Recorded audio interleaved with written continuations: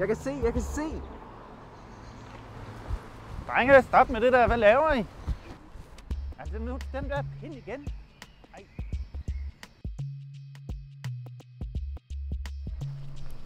Hey, mor.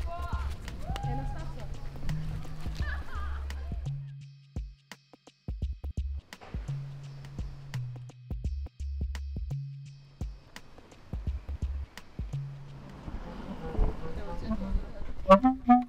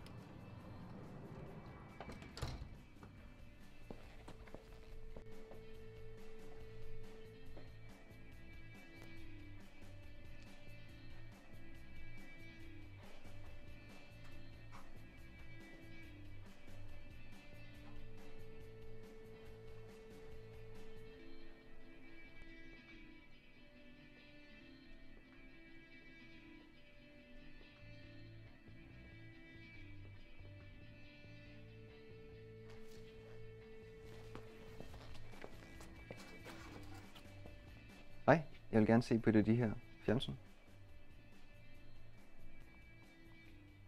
Øhm, kan du anbefale et? Jeg ved ikke så meget om dem.